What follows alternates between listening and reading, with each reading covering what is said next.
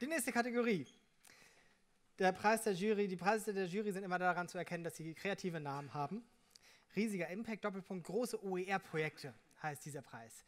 Die beiden Laudatoren, die ich jetzt auf die Bühne bitten möchte, sind Dieter Müller von der Technologiestiftung in Berlin und Anja Lorenz aus dem Norden von Uncampus.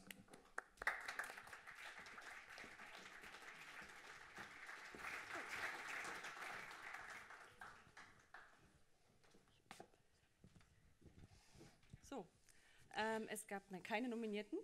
Genau, deswegen haben wir auch nur einen Umschlag diesmal.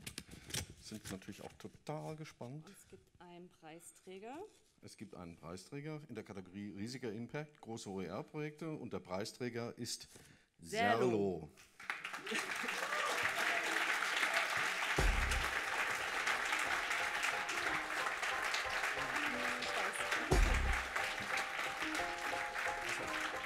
Foto schön nach vorne.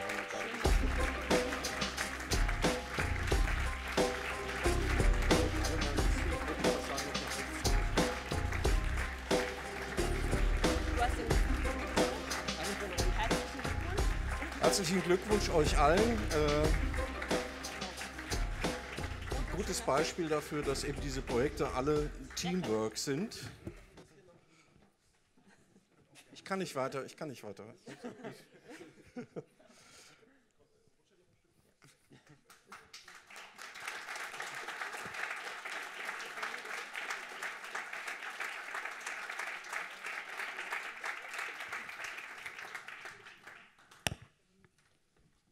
Genau, damit ihr auch wisst, warum.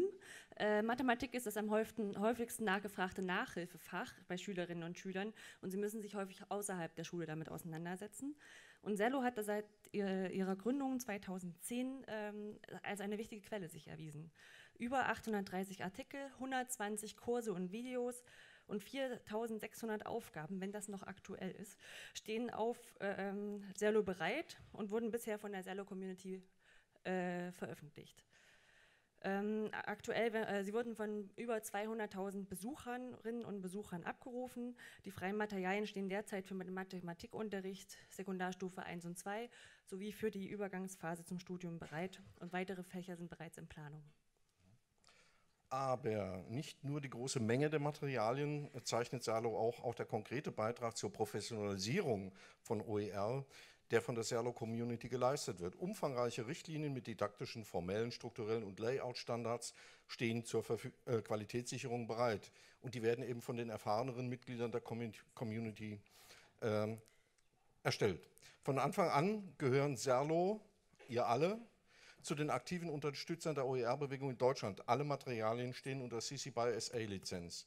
Dennoch sind Serlo äh, offen für Kooperationen mit klassischen Verlagen und sehen darin keinen Widerspruch zu ihrer Arbeit für und mit OER. Das heißt also nicht ideologisch vorbelastet, sage ich jetzt mal. Also herzlichen Glückwunsch dafür und vielen Dank für eure Arbeit. Herzlichen Glückwunsch.